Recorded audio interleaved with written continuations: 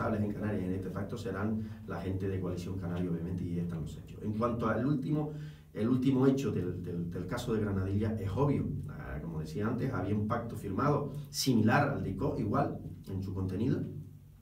y Coalición Canaria desde eh, el principio de legislatura ha estado, como se dice vulgarmente, echando pelos en la ley. Precisamente, eh, el pacto de gobernabilidad en Canarias parece, eh, intentan reconducirlo, sobre todo desde Coalición Canaria intentan reconducirlo, el PSOE tendrá que responder a esa propuesta nueva ahora de centrarse en la mesa del pacto, etcétera. Pero parece por declaraciones de días anteriores, no sé cómo será después en esa mesa de negociación, que el paraguas, el pacto en cascada, precisamente por esto que ha ocurrido en Granadilla y lo que tú has contado del puerto de la Cruz, de frontera en el Hierro, etcétera, la propia situación de Ico de los Vinos, donde ustedes dejan gobernar a Coalición Canaria en minoría, pues parece que según eh,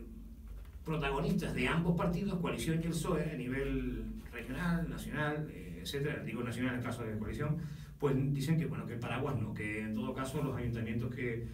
que gestionen y acuerden lo que consideren entre ellos los partidos.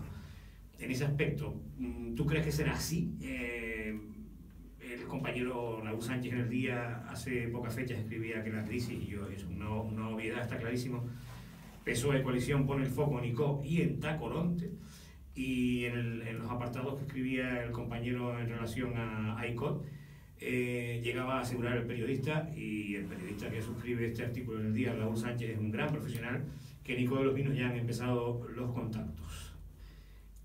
¿Qué tienes tú que decir a esta situación con respecto a que el paraguas ahora eh, en fin, se rompa en la cascada,